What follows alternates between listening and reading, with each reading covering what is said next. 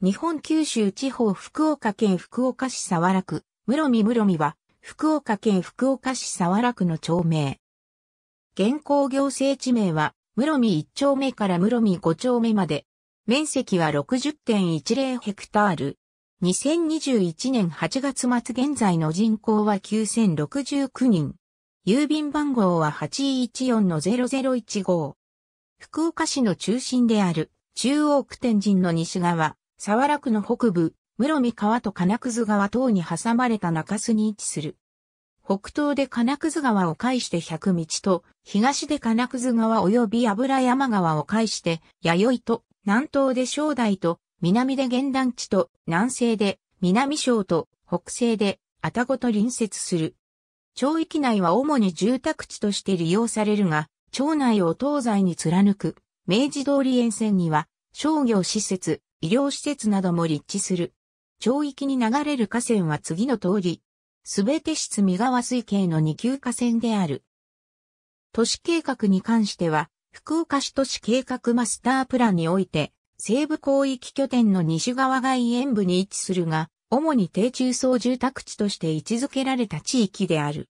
用途地域は、明治通りの道路境界線から、両側おおむね30メートルの範囲が商業地域に、さらにその両側が第一種住居地域に指定されている。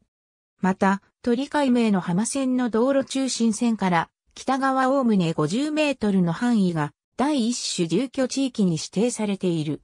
これら以外の範囲が第一種中高層住居専用地域に指定されている。また、室見一丁目の一部の区域約4.6ヘクタールについては、地区計画の区域として室見一丁目地区地区計画が定められ、西部広域拠点の西側に位置し、室見川、金屑川及び室見公園に囲まれた閑静な低層住宅地として良好な住環境の維持、保全を図ることが目標とされている。一説によると、語源は、諸、ペンで、原義は室見川川尻の定まらない地形を故障したのではないかとされている。室見一丁目から室見五丁目までを合わせた人口の推移を福岡市の住民基本台帳に基づき示す。集計時点は各年9月末現在である。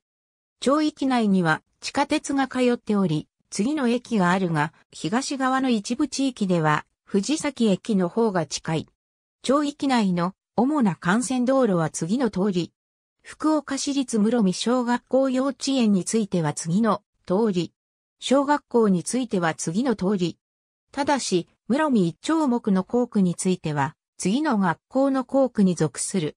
中学校については町内には存在しないが、校区については、次の学校の校区に属する。ありがとうございます。